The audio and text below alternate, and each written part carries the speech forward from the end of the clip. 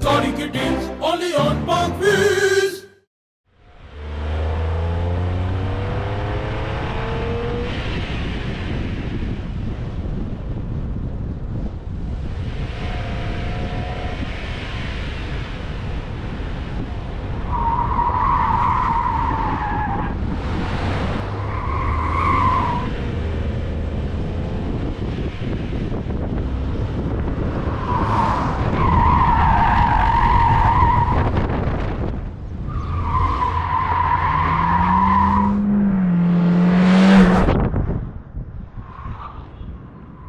अस्सलाम पाक पार्क मेरा नाम है सुनील मांझ और मैं पाक व्हील्स एक्सपर्ट रिव्यू सीरीज़ के एक और एपिसोड साथ आपकी खिदमत में हाजिर हूँ। आज हम जिस गाड़ी का रिव्यू आपके लेके आए हैं, वो सिविक आर एस टर्बो है। होंडा ने टेंथ जनरेशन सिविक को पाकिस्तान में 2016 में लॉन्च किया था, जिसमें टर्बो और नॉन टर्बो वेरिएंट शामिल थे। बट 2016 में जो टर्बो वेरिएंट था, उसके अंदर काफ़ी ज़्यादा मसाइल आए थे, जिस मसाइल के आने की मेजर वजह जो है हमारे यहाँ पे बैड फ्यूल क्वालिटी थी। और अगर हम देखें उस लिहाज से होंडा का मेरे ख्याल से एक कदम जो है था, वो उस टाइम की मार्केट से एक आगे का कदम था, क्योंकि वो पहली टर्बो गाड़ी थी, जो कि पाकिस्तान में मुतारफ़ कराई गई थी। खैर बैड फ्यूल क्वालिटी की वजह से वो गाड़ी जो है 2017 के करीब एंड में जाके डिसकंटिन्यू हो गई थी और 2019 में होंडा ने दोबारा जो है सिविक आर एस टर्बो के नाम से इस गाड़ी को लॉन्च किया। इसके अंदर काफ़ी चेंजेस की गई थी जो कि लोकल फ्यूल क्वालिटी के लिहाज से अडेप्ट की गई थी गाड़ी को और उसके अंदर फ्यू ऑप्शन जो हैं उनको भी ऐड किया गया था। तो आज के रिव्यू में हम बेसिकली आपको बताएँगे कि डिफरेंस पुरानी टर्बो और इस टर्बो आरएस के अंदर क्या है और हमने इस गाड़ी को कैसा जो है पाया है। अगर हम गाड़ी की फ्रंट की बात करें तो ऑलमोस्ट वैसे ही फ्रंट है, जैसे कि पहले वाली गाड़ी का था जो टेंथ जनरेशन सिविक 2016 में लॉन्च की गई थी। ग्रिल के ऊपर जो बैजिंग आरएस की वो ऐड कर दी गई है। टर्बो में पहले भी पियानो ब्लैक ग्रिल आती थी, इसमें भी है। हेडलाइट जो है, इसमें एलईडी दे दी गए हैं, जो कि 2018 के बाद आने वाली तमाम सिविकों में आए थे। इसके अलावा ये जो क्रोम गार्निश आपको नज़र आ रही है, ये भी एक एडिशन 2018 के बाद जब गाड़ी का फेस हुआ था तो किया गया था।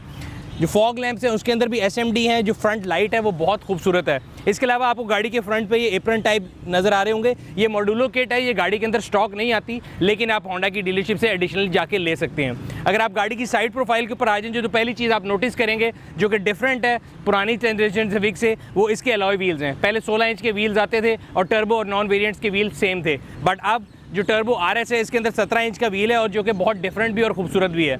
इसके अलावा बाकी साइड प्रोफ़ाइल गाड़ी की 100 परसेंट सेम है। सिर्फ़ क्रोम हैंडल जो है वो टर्बो और जो आपकी नॉर्मल गाड़ी है, उसको डिफ्रेंशिएट करते हैं। साइड व्यू मिरर के अंदर आपको टर्न सिग्नल एलईडी मिल जाएगा। साइड पे शार्क फिन एंटीना विजिबल है। अगर हम गाड़ी के रेयर एंड की बात करें तो ऑलमोस्ट शेप जो है वो सेम ही है जो टेंथ जनरेशन की शुरू में आई थी। सिर्फ़ थोड़ा बहुत डिफरेंस है कि स्पॉयलर आ गया ऐड हो गया इसमें आरएस में और ब्रेक लाइट जो पहले ऊपर होती थी वो स्पॉयलर के अंदर आ गई। सिमिलरली ये क्रोम गार्निश जो है, ये भी फेस अपलिफ्ट मॉडल के अंदर आई थी। और ये आरएस की बैजिंग नज़र आ रही है आपको। इसके अलावा जैसा मैंने आपको आगे बताया था, यहाँ पे आपको पीछे भी साइड एप्रन नज़र आएँगे जो कि मॉडुलो किट का हिस्सा है। और टर्बो और टर्बो आरएस जो है और टर्बो ओरियल जो है, उसके अंदर डुअल एग्जॉस्ट टिप्स आती हैं जो कि आपको यहाँ पे विजिबल नज़र आ रही होंगी। इसके अलावा इस गाड़ी में मैंने आपको बताया कि मॉडुलो किट लगी हुई है तो आगे और पीछे के अलावा साइड स्कर्ट जो है गाड़ी के, वो भी आपको नॉर्मल से ज़रा बड़े साइज़ के नज़र आ रहे होंगे। ये भी स्टैंडर्ड आरएस के अंदर नहीं आते। This is part of the Modulo package जो कि आपको होंडा की डीलरशिप से अवेलेबल है। ये गाड़ी की चाबी है, इसके थ्रू आप दो तीन फ़ंक्शन जो एक्स्ट्रा हिडन है, वो भी कर सकते हैं, आप गाड़ी के बाहर खड़े हुए इसके शीशों को नीचे कर सकते हैं, गाड़ी को गर्मी में स्टार्ट कर सकते हैं, अगर आप इस बटन को होल्ड करके रखेंगे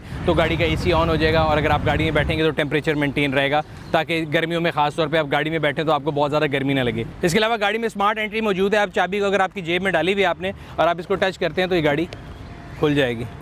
सो गाड़ी के इंटीरियर के अंदर जो अगर हम नोटिस करें, अगर पिछली से कंपेयर करें, अगर हम जो टर्बो पहले आती थी जनरेशन वाली तो ज़्यादा डिफरेंस नहीं है। सबसे पहला जो मेजर डिफरेंस आपको नज़र आता है, वो गाड़ी के इंटीरियर कलर का है। इसकी सीट्स जो है, ये डार्क ग्रे या ब्लैक लेदर की आप कह सकते हैं, और उसके अंदर रेड रंग की स्टिचिंग है, जो कि सीट में भी है, दरवाज़ों में भी है, और ये गाड़ी के अंदर एक जो स्पोर्टी टच है, उसके अंदर ऐड करी है। एंड उसके साथ ही जो सेंटर में इसका फैब्रिक है, इसके अंदर भी कार्बन फाइबर का जो डिज़ाइन है, उसकी वजह से जो ओवरऑल सीट्स की जो लुक है, वो एक स्पोर्टी लुक आती है। यही आप गेयर लेवर में भी देखें तो आपको ये थ्रू आउट जो है ना, ये रेड स्टिचिंग नज़र आएगी। उसके अलावा जो दूसरी चीज़ आपको नज़र आती है जो कि डिफरेंट है अगेन नॉर्मल सिविक से, वो पैडल शिफ्टर पहले भी ट्रबो में आते थे बट इसमें भी हैं। तीसरी चीज़ जो इसमें डिफरेंट आपको नज़र आएगी, वो इसकी जो मीटर की जो इंस्ट्रूमेंट क्लस्टर है, इसके अंदर ये जो फ्यूल के बार है, ये पहले वाइट कलर में होता था, अभी रेड कलर में आ गया 2018 के एंड में साइलेंट एक फेस लिफ्ट आया था सो so 1.8 जो ओरियल है, उसमें भी है और टर्बो आरएस में भी है। बाकी इसका जो मीटर है, वो आपको तमाम नेसेसरी इन्फॉर्मेशन प्रोवाइड करता है, जैसे कि आपके पास ट्रिप मीटर है रेंज आपको गाड़ी बता रही है एवरेज बता रही है, इसी तरह आपकी ऑयल लाइफ बता रही है। सो ये बेसिक इन्फॉर्मेशन नेविगेशन जो है वो आपको सारी प्रोवाइड करता है। इन्फोटेनमेंट की अगर हम बात करें तो इन्फोटेनमेंट सिस्टम जो है, मेरे ख्याल से अभी तक जो शुरू से आने वाली सिविक है टर्बो के अंदर सेम ही रहा है। इसमें रेयर एंटरटेनमेंट की ऑप्शन भी आपके पास यहाँ पे अवेलेबल है। और आप इसी इंटरटेनमेंट यूनिट को जो है, इसके मल्टीपल कंट्रोल हैं। अगर आप आगे से इसको करना चाहें कंट्रोल तो आप आगे से कर सकते हैं। सिमिलरली अगर आप पीछे बैठ के इसको कंट्रोल करना चाहते हैं तो आपस में कनेक्टेड है। गाड़ी के अंदर चार कैमरा मौजूद हैं, एक फ्रंट पे है, एक रेयर में है, एक आपको कैमरा यहाँ पे आगे नज़र आएगा और एक सेल्फी कैमरा इसके अंदर नज़र आएगा। आज के दौर में जब से खासतौर पे पैंडेमिक आया है तो स्काइप के ऊपर और जूम की जो इंपॉर्टेंस है, वो बहुत ज़्यादा बढ़ गई है। तो मेरे ख्याल से उस लिहाज से अगर आप देखें और ये पाकिस्तान की सबसे महँगी सेडान है तो मेरे ख्याल से इसमें बड़ी अच्छी चीज़ है, जो कि अगर आप ऑन बोर्ड देख लें, आपके पास एंड्रॉयड यूनिट के अंदर कैमरा जो है, उसकी अवेलेबिलिटी से फ़ायदा ही हो सकता है आप अपनी जूम कॉल्स ले सकते हैं, आप कम्युनिकेशन कर सकते हैं स्काइप कॉल भी सकते हैं। एट द सेम टाइम इसके अंदर एंड्रॉयड की तमाम ऑप्शन मौजूद हैं phone connectivity and everything but only चीज़ जो है इसकी जो फ़ोन की क्वालिटी है वो मैं आपको चेक करवा देता हूँ। सो so, ये भी आपको आवाज़ जो है मुझे ऐसा लगता है कि बहुत ज़्यादा एक तो लाउड है इस तरह। जी वालेकुम। जी अली क्या हाल है? ब्लूटूथ पे बात कर रहा है। तुम्हें कैसे पता लगा? तेरी आवाज़ कट रही है बहुत आज कट रही है? चलो मैं आपको हाँ। करता हूँ अभी मैं एक काम में काम में बिज़ी हूँ मैं आपको निकल के कॉल करता हूँ ओके ओके सो ये चीज़ है कि जो इसकी वॉइस क्वालिटी है ना वो थोड़ी डिस्टर्बिंग है मुझे इस तरह लगता है कि अगेन इतनी महँगी गाड़ी होने की साथ साथ इसकी जो वॉइस क्वालिटी है ब्लूटूथ की खास तौर पे फ़ोन यूज़ करने के लिए वो अच्छी होनी चाहिए। बट मैंने फील किया कि लोकल जितनी भी गाड़ियाँ आती हैं तमाम के ब्लूटूथ के साथ ये मसला है कि आप जब बात कर रहे होते हैं तो अगले को आपकी आवाज़ नहीं आती एंड एट द एंड आपको जो है फिर वापस अपने फ़ोन के ऊपर रिवर्ट करना पड़ता है। सो so, अगर हम इसी की परफॉर्मेंस की बात करें तो गाड़ी के अंदर सिंगल क्लाइमेट कंट्रोल एसी दिया गया डिजिटल है आप इसको यहाँ से एडजस्ट भी कर सकते हैं ऑटो पे भी लेके जा सकते हैं। पीछे जो आपको सेंटर कंसोल के अंदर जो है एसी के वेंट्स दिए गए हैं, ताकि रेयर सीट वाले जो पैसेंजर हैं, उन तक भी हवा पहुँच सके। इसके अलावा बाकी ये brake hold electronic parking brake सारा कुछ स्टैंडर्ड है, जो पहले भी आने वाली टेंथ जनरेशन सिविक में आता था। इसके अलावा गाड़ी का जो स्टेयरिंग है, वो टेलीस्कोपिक है, आप इसको एडजस्ट कर सकते हैं मैनुअली और आगे, पीछे, ऊपर, नीचे दोनों तौर पर एडजस्ट कर सकते हैं। फरहान साहब की कद का कोई बंदा हो तो उसके लिए फिर वो बताते हैं कि ये स्टेयरिंग ऊपर ना करो तो लगता है यहाँ से। प्लस ये जो यहाँ पे पैनल आ रहा है ना, इसकी जो प्लेसमेंट है वो मुझे एट टाइम ऐसा लगता है कि अगर किसी का कद लंबा हो तो वो यहाँ पे आपको ना थोड़ी प्रॉब्लमेटिक लगती है। बट आदत की बात है, आपको बैठने के साथ आदत होती है। इसके अलावा गाड़ी की जो ड्राइविंग सीट है, इसके अंदर हाइट एडजस्टमेंट मौजूद है मैनुअल हाइट एडजस्टमेंट है, एक लिवर है सीट के राइट पे, जिसकी मदद से आप गाड़ी की सीट को नीचे या इसी तरह आप इसको अगर ऊपर लाना चाहते हैं तो आप ऊपर भी कर सकते हैं। बाकी गाड़ी का overall interior push start sunroof है डुअल एयर बैग है cruise control steering controls is hundred percent same जैसे कि पहले था। इवन जो डैशबोर्ड की आपकी लाइनिंग शाइनिंग है, ये भी हंड्रेड परसेंट सेम है। और बिल्ड क्वालिटी जो है, मुझे लगता है काफ़ी इंप्रूव की गई है। शुरू में होंडा की जो बिल्ड क्वालिटी थी टेंथ जनरेशन की, उसके अंदर काफ़ी ग्लिचेस थे गैप्स थे। अगर आप खास तौर दरवाज़ों के कॉर्नर्स की बात करते थे तो हम लोगों ने काफ़ी दफ़ा पॉइंट आउट किया था। सो मेरे ख्याल से credit should be given where it's due और इस जो स्टैंडर्ड को काफ़ी ज़्यादा इंप्रूव कर दिया गया इसकी बिल्ड क्वालिटी की जहाँ तक ताल्लुक है। सो so, अब हम इसकी गाड़ी की ड्राइव पे चलते हैं और आपको बताते हैं कि हमने इस गाड़ी की ड्राइव के बारे में हमारा क्या पॉइंट ऑफ़ व्यू है। सो so, जैसे कि मैंने आपको पहले बताया कि पाकिस्तान की ऑन पेपर जो है ये सबसे fastest locally produce sedan car है और जब जनरेशन सिविक आई थी तब भी ऐसा ही था। लेकिन उस टाइम पर जब होंडा ने ये डिसीज़न लिया था कि पाकिस्तान में टर्बो को लॉन्च करें हमारे यहाँ पे फ्यूल क्वालिटी जो है वो बहुत बुरी थी। अब जो कि आपको पता है कि पाकिस्तान में यूरो फाइव जो है वो स्टैंडर्ड फ्यूल आना शुरू हो गया है। इसी वजह से मेरा ख्याल है इस गाड़ी की जो परफॉर्मेंस है अब इसलिए मैंने कोशिश की है कि दोबारा एक दफ़ा इसका रिव्यू बनाए और देखें कि इसकी इंजन परफॉर्मेंस कैसी है। तो इस गाड़ी को मैंने तकरीबन ढाई तीन हज़ार किलोमीटर चलाया है और मैंने इसमें कोई हाई ऑक्टेन नहीं डाला रेगुलर फ्यूल डाला है और उसके साथ ही इसकी परफॉर्मेंस को चेक किया इसको ट्रैक पर भी चलाया इसको हर किस्म की हमने इसकी परफॉर्मेंस टेस्ट जो है वो किया है और अब जो मैं आपको फाइनली जो वर्ड इसका देने जाऊँगा, तमाम चीज़ों को इनकॉपरेट करेगा। सो ओवरऑल अगर हम गाड़ी की पिक की बात करें तो मेरे ख्याल से इस पर कोई डाउट नहीं है कि ये गाड़ी जो है, ये पाकिस्तान की जो फास्टेस्ट सेडान है वो है और ये आप देख सकते हैं इसकी जब आप इनिशियल इसकी जो पिक है वो एकदम आपको पीछे की तरफ़ फेंकती है, इतना थर्स्ट है गाड़ी के अंदर, एक तो आप देखते ना पेपर के ऊपर आप इसका टॉर और इसकी जो हॉर्स पावर वो पढ़ते हैं, लेकिन जब टर्बो स्पूल करता है तो एकदम आपको किक इन थर्स्ट फील होती है और मेरे ख्याल से जो इस गाड़ी को चलाने का सबसे ज़्यादा मुझे मज़ा आया, वो इसकी पिक का ही है, मैं आपको दोबारा दिखाता हूँ। सो ये इंस्टेंट रिस्पॉन्स है गाड़ी का।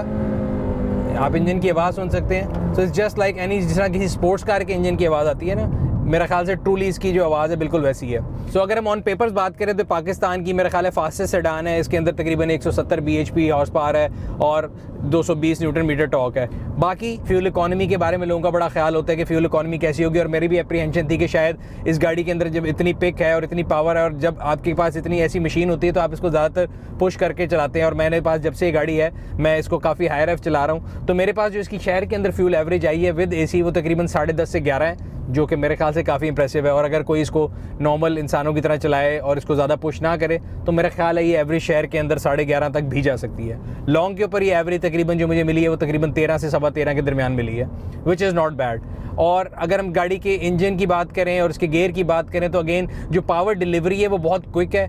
इसके अंदर पैडल शिफ्टर्स हैं। उसके साथ सिक्स जो स्पीड सी बी गियर है, और ख़ास तौर पे मैंने ये देखा है इस गाड़ी की जो पावर है, जितनी इसकी पिक है वो तो बहुत ज़्यादा है, लेकिन जब ब्रेकिंग करनी होती थी तो मैं तो ख़ास तौर पे पैडल शिफ्टर का इस्तेमाल करता था बिकॉज़ मुझे साइकोलॉजिकली भी लगता था, और जनरली भी जो इसकी ब्रेक है, वो मुझे लगता है कि थोड़ी जो गाड़ी की पिक के लिहाज से उतना एड पार नहीं है सो मैं इसको पैडल शिफ्टर्स की मदद से जो है काफ़ी ज़्यादा ब्रेकिंग की है।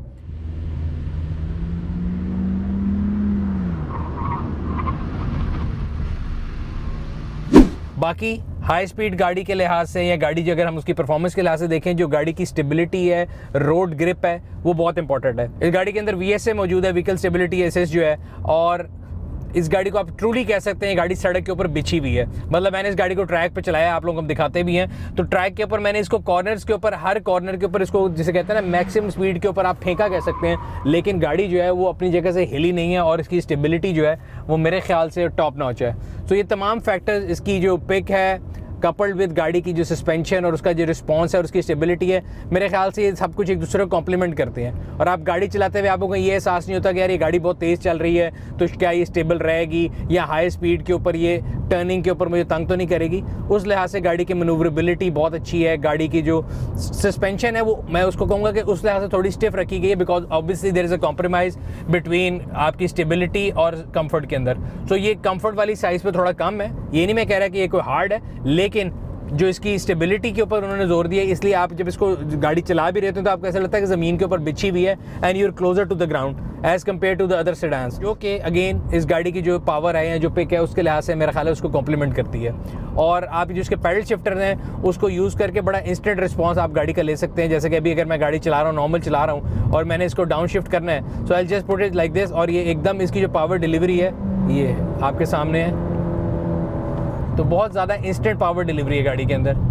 इसके अलावा मैं ये फील कर रहा था कि हम आम सेडान्स में देखते हैं, आजकल स्पोर्ट्स का फ़ंक्शन होता है इकॉन का होता है, इसमें सिंपल एक इकॉन का फ़ंक्शन है। उसके अलावा अगर आप इसमें से ज़्यादा पावर या परफॉर्मेंस लेना चाहते हैं तो आप इसको डी के बजाय एस में कर दें। तो आपके जो मीटर में एलिमिनेशन है, वो ग्रीन के बजाय वाइट और रेड की तरफ़ चली जाती है, अगर आप इसको हाई आर पी एम पर लेके जाएँगे। सो गाड़ी की जो परफॉर्मेंस है, ये जो उसका रिस्पॉन्स है थ्रोटल रिस्पॉन्स वो थ्रू आउट चेंज हो जाता है एकदम।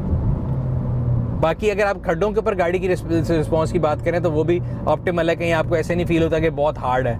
सो जहाँ तक गाड़ी की ग्राउंड क्लियरेंस का सवाल है तो ग्राउंड क्लियरेंस इसकी मेरा ख्याल है ऑप्टिमल है। खासतौर पर ये गाड़ी जो मैं टेस्ट कर रहा हूँ, इसके अंदर मॉडलो किट लगी हुई है। इसमें कहीं कहीं अगर बहुत ही को बड़ा स्पीड ब्रेकर तो शायद आपको ध्यान से गुजारना पड़े। बाकी मेरे ख्याल से मैंने उसको कई स्पीड ब्रेकरों से गुजारा है, और लो स्पीड और नॉर्मल स्पीड पर भी गुजारा है। गाड़ी कहीं जो है, वो लगती नहीं है। तो इस, इसकी जो ग्राउंड क्लियरेंस है, वो बिल्कुल ठीक है। पीछे जो अगर इसका फ्लोर बेड की बात करें तो ये सेंटर से जो है, ये उठा हुआ है। जबकि इससे पहले आने वाली सिविक्स में जो फ्लैट होता था तो पीछे बैठने वाले लोग जो हैं, बड़े कंफर्टेबली बैठते थे। बट अगेन अगर चार लोगों ने बैठना है तो इसमें बड़े आराम से बैठ सकते हैं। जैसे कि मैंने आपको बताया कि गाड़ी बहुत तेज़ भी है but at the same time मेरा ख्याल है कंफर्ट और पावर का जो है ना, एक अच्छा कम्बिनेशन है। अब आप देख सकते हैं, मेरे इर्द गिर्द काफ़ी रश है मोटरसाइकिल गुजर रहे हैं ट्रैफ़िक गुजर रही है, लेकिन अंदर कोई शोर की आवाज़ नहीं आ रही। इसी तरह टर्बो जो है मेरे ख्याल से अगर मैं हमेशा बात करता हूँ कि अगर हम इस कंपेटर से जो कंपेयर करें तो नो डाउट 1.8 सिविक जो है मुझे लगता है कि वो ग्रैंडी से पावर में और पावर डिलीवरी में और पिक में बहुत कम है। But I think I can safely say about this product के टर्बो एस जो है ये कंपेटर प्रोडक्ट का जो है एग्जैक्ट रिप्लाई है। अगर पावर डिलीवरी में देखा जाए तो ये उससे बहुत बेहतर है। सो so, अब हम गाड़ी का ज़ीरो टू हंड्रेड चेक करते हैं एंड देखते हैं कि वो कितने सेकेंड्स में आता है।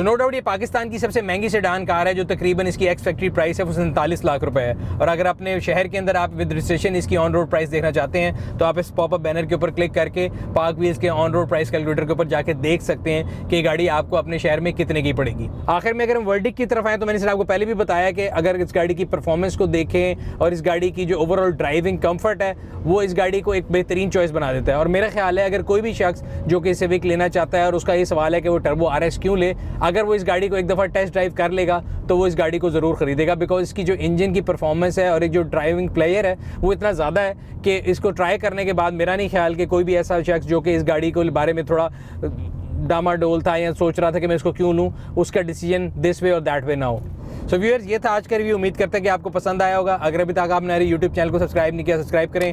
बेल आइकॉन पर क्लिक करें ताकि आपको और आने वाली वीडियो के बारे में नोटिफिकेशन मिलता रहे। कमेंट सेक्शन में अपनी राह से आगाह करते रहा करें। हम लोग कोशिश करते हैं कि आप लोगों की फीडबैक को लेकर अपनी वीडियोज़ को पहले से बेहतर बनाएँ। ये था आज का रिव्यू आपसे अगले रिव्यू में फिर मुलाकात होगी। तब तक अपना और अपने गिरदनवा के लोगों का ख्याल रखेगा शुक्रिया।